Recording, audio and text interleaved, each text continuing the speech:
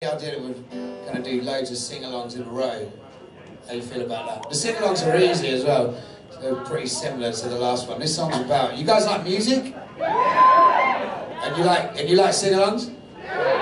You like reggae music? Alright, do you like choose your own adventure novels? Choose your own adventure novels. You like that? Okay. I thought you didn't like them. I who doesn't like a own adventure novel? These guys are kids. I'm going to combine all of them into a song. Where basically, this, so the song is about music, and the sing along line, I say, I don't think I mentioned reggae yet, and you say, I fucking love it. Sorry about making all the kids swear, by the way. They don't let children into gigs in England, so I don't have to worry about this stuff. I apologise. Um, but uh, yeah, I say I don't think I mentioned reggae, you say I fucking love it. And uh, if I believe that you love reggae, I will sing you my one and only reggae song. And if I believe that you fucking love reggae, I'll do it in a reggae voice.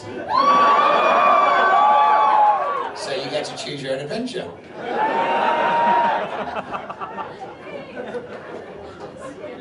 I used to play in a grunge band when I was 17.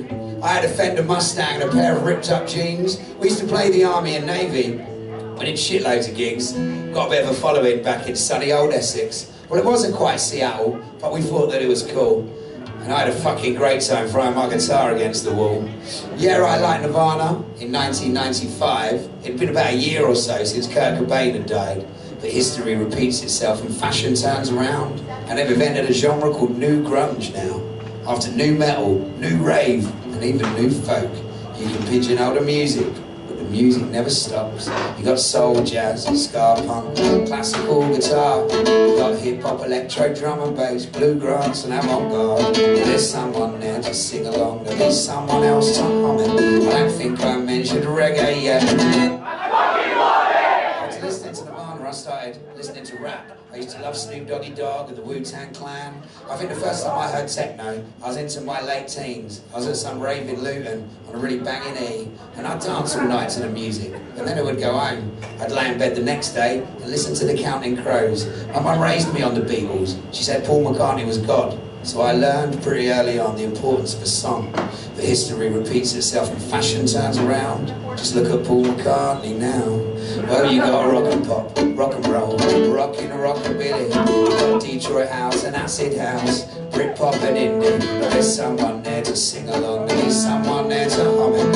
I don't think I mentioned reggae yet.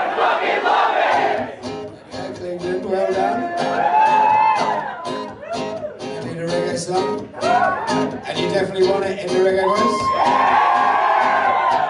Okay, so like all good reggae songs, this song was inspired by Ally McBeal. And uh, in Ally McBeal, they use theme tunes to get over big problems that they have in their life. And uh, it's a song about not taking cocaine for a whole weekend. Feel free to use it yourself if you want. It's called Charlie. Uh, before I kick into the reggae voice, I'd like to apologise for all white people with dreadlocks.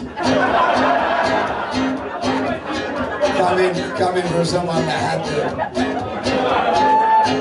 No, Charlie, no, no, no. No, Charlie, no. No, Charlie, no, no, no.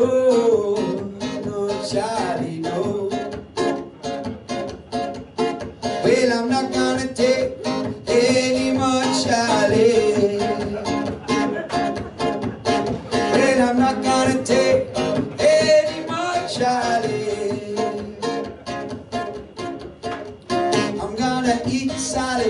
gonna eat fruits. I'm gonna eat vegetable. I'm gonna drink water. I'm gonna drink wine. I'm gonna drink it all of the time. But I'm not gonna take any more Charlie. No, Charlie, no, no, no. No, Charlie. No,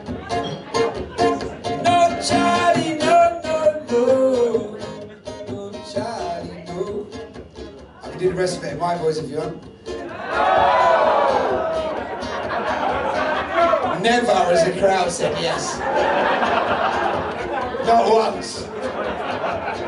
That's what I think about before I go to sleep tonight. Maybe I should get the dreads back.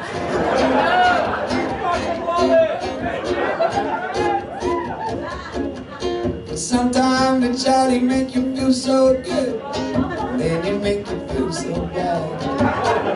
But Charlie make you happy for a little while, and then the Charlie make you feel oh so sad. And I'm not gonna take anyone, Charlie. No, Charlie, no. Thanks, guys. Is it, is it possible for anybody to get some?